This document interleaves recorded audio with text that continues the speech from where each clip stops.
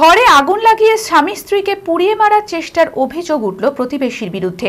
ঘটনাটি ঘটেছে মঙ্গলবার ভোররাতে হরিহরপাড়া থানার ডুবিপাড়া এলাকায়।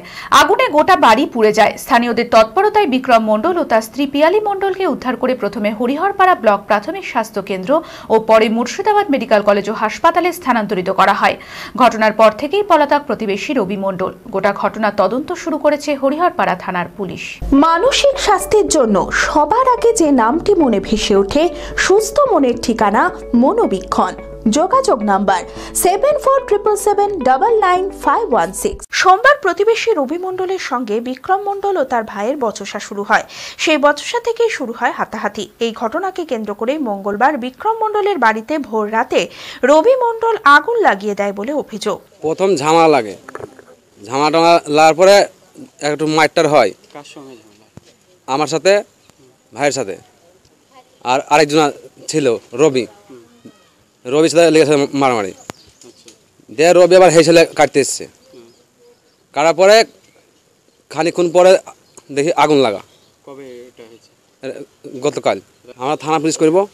বাড়িতে তখন ছিল বিক্রম মণ্ডল ও তার স্ত্রী পিয়ানি মণ্ডল ও তাদের সন্তান। আগুনে ভস্মীভূত হয়ে যায় বাড়ি।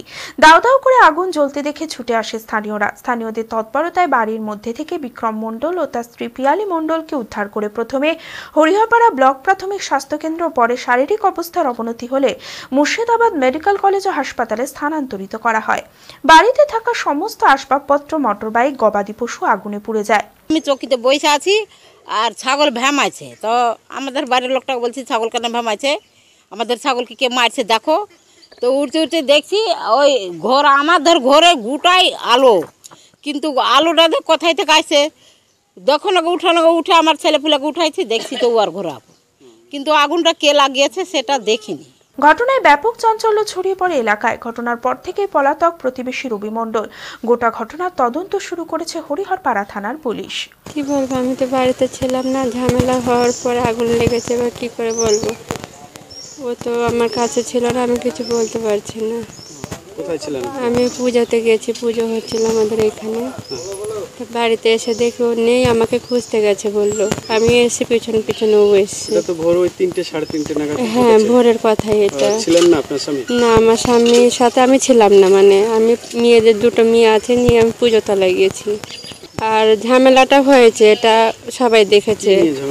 ঝামেলা কিনেও হয়েছে তো আমি বলতে পারছি না আমার স্বামীর সঙ্গে অতটা আমার এখনও কথা হয়নি।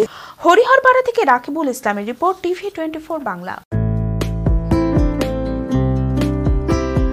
Minerva Meditech Academy Bangalore best Minerva group নিয়ে এলো জেলার সর্বপ্রথম NEET JEE integrated school Minerva Meditech Academy এখন আপনার এলাকায়। মর্নিং ও ডে সেকশনে নার্সারি থেকে ক্লাস টুয়েলভ পর্যন্ত ভর্তি চলছে।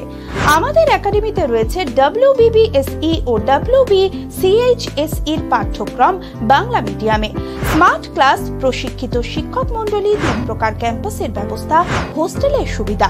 নিট ইন্টিগ্রেটেড ক্লাসরুম আরও অনেক সুবিধা সহ রয়েছে স্কুল শিক্ষায় বারো বছরের দক্ষতা। বিশদে জানতে যোগাযোগ করুন। আমাদের ঠিকানা Minerva Meditech Academy, Daulatabad, Murshidabad. যোগাযোগ number eight two five zero nine double five zero seven four. আমাদের ক্যাম্পাস রয়েছে দৌলতাবাদ, ইসলামপুর ও নবাবগঞ্জে।